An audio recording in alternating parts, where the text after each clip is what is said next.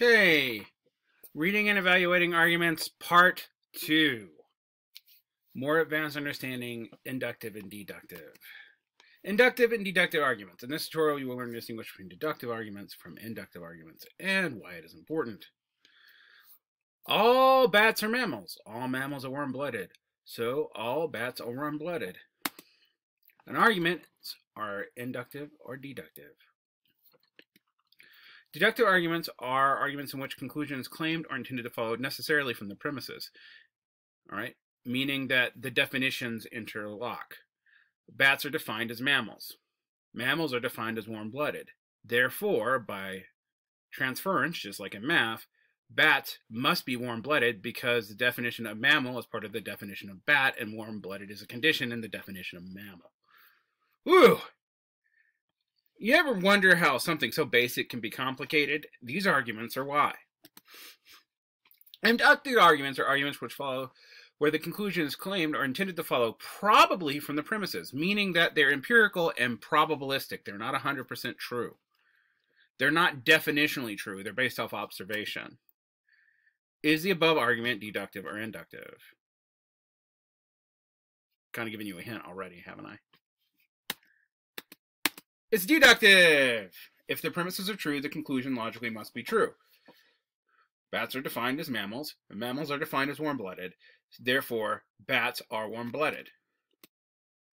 There are four tests that can be used to determine whether an argument is deductive or inductive.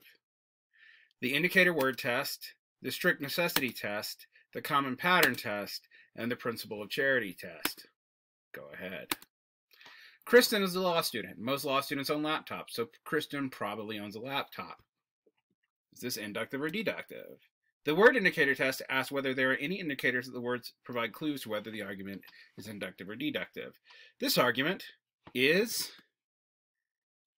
common deductive indicator words include phrases like necessarily, logically, in the case that, and this proves that. You will notice that none of those are in that argument, even though it's structured just like we saw the prior deductive argument, we know it's probably not because it includes the word probably. Probably, likely, plausibly, it is plausible that, it is reasonable to think that, reasonably, it's a good bet that, are all indicators of inductive logic because you have to hedge your bets on an inductive argument.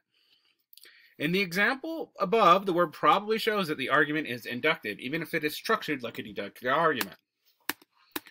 No Texans are architects.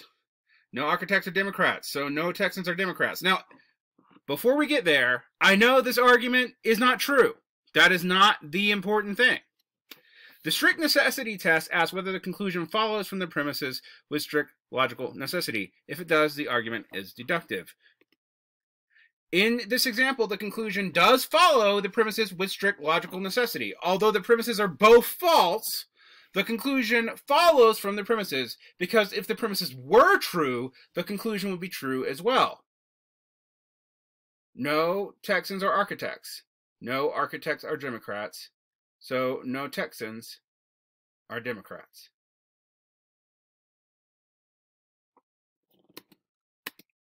Either Kurt voted in the last election or he didn't. Only a citizen can vote. Kirk is not and has never been a citizen. So Kirk didn't vote in the last election. Now, is this a deductive or inductive argument? The common pattern test asks whether or not the argument exhibits a pattern of reasoning that is characteristically deductive or inductive.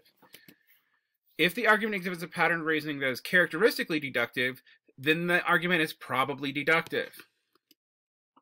If the argument exhibits, exhibits a pattern of reasoning that is characteristically inductive, then the argument is probably inductive. In the example above, the argument exhibits a pattern that we call argument by elimination. Arguments by elimination are arguments that seek to logically rule out any possible any possibilities other than a single possibility that remains at the end. These types of arguments are always deductive. Arnie. Harry told me his grandmother recently climbed Mount Everest. Sam. Well, Harry must be pulling your leg. Harry's grandmother is over 90 years old and walks with a cane. Is this argument inductive or deductive? In the passage above, there is no clear indication whether Sam's argument could be regarded as inductive or deductive. For arguments like these, we fall back on the principle of charity. What is the principle of charity? According to the principle of charity, we should always interpret an unclear argument or passage as generously as possible. And actually, this is even a good rhetorical strategy because it because if you beat the stronger argument, you have a stronger argument yourself. We could interpret Sam's argument as deductive, but it would be uncharitable since the conclusion doesn't follow from the premise with strict logical necessity. It is logical possible, although highly unlikely, that a 90 year woman with a cane could climb Everest. It's logically a possibility. Thus, the principle of charity tells us to treat this argument as deductive because it's just highly improbable that Harry's grandmother would do that. Therefore, if we treat it as an inductive argument, it's it makes sense. If you treat it as a deductive argument, it's clearly wrong. Are there any good Italian restaurants in town? Yeah, Luigi's is pretty good, but I've also had the, I've had their Neapolitan rigatoni, their lasagna col pesto, and their mushroom ravioli. I don't think you can go wrong with any of their pasta dishes. You tell me. Is this argument deductive or inductive? Based on what you got, what have we got here? It's inductive. Why? Because he gives three examples and then concludes that most of the pasta dishes must be good from the three examples that he's tried. This this argument is an inductive generalization, which is a common pattern of inductive reasoning. Also, the conclusion does not follow with strict necessity from the premises. There could be a really bad pasta dish there, he just hasn't tried it. I wonder if I have enough cash to buy my psychology book as well as my biology book and history textbook. Let's see, I have $200. My biology textbook costs six, uh, $65. My history textbook costs $52. Yes, college textbooks are that expensive. My psychology textbook costs $60. With taxes, it should come to 190 Yep, that's enough. And note, I made this this presentation a long time ago because you think these numbers will probably be double now. Sorry, guys. Um,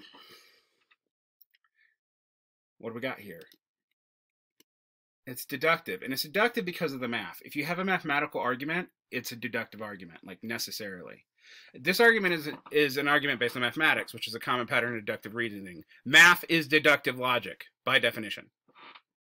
Plus, a conclusion doesn't necessarily follow from the premise. He has two hundred dollars. The textbooks cost less than two hundred dollars, therefore he can buy his textbooks. Mother, don't give Billy that brownie. It contains walnuts, and I think Billy is allergic to walnuts.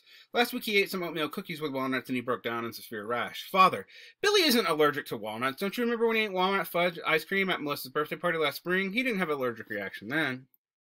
Is this argument deductive or inductive, and how can you tell? It's inductive. The father's argument is a causal argument, which is a common pattern of inductive reasoning. Also, the conclusion does not necessarily follow from the premises. Billy might have developed an allergic reaction to walnuts since last spring, and it's it's perfectly logical possible for that to happen. John is agnostic. It follows that he doesn't believe in God. Is this argument inductive or deductive, and how can you tell? It's deductive. It's actually part of the definition of agnostic that he doesn't believe in God. The common argument is an argument by definition, which is a common pattern of deductive inference. Also, the phrase that necessarily follows that is an indicator phrase, so it also meets the indicator phrase test. So the conclusion follows from the premises. Do you think Representative Poitmeister will be reelected? I doubt it. Poitmeister's district became more conservative in recent years. Portmeister is a liberal Democrat, and 63% of registered voters in his district are now Republicans. Is this argument deductive or inductive, and how can you tell? It's inductive. This argument is both a statistical argument and a predictive argument. Notice statistical arguments are arguments where math applies, but because they're probable, it's not deductive. And I know that's confusing because normally when you see numbers, you automatically go in uh, deductive, but not with statistics because the probability leads to probably, right? And that's an indicator.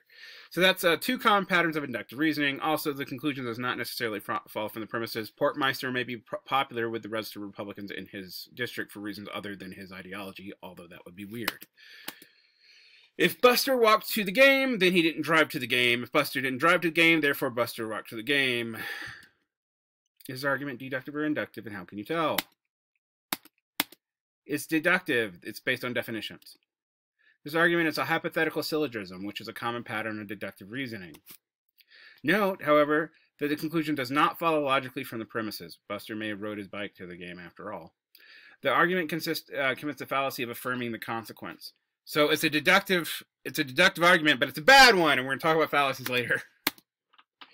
all right, and we're gonna stop here because I have a whole another paragraph, um, well, a whole another presentation on logical fallacies.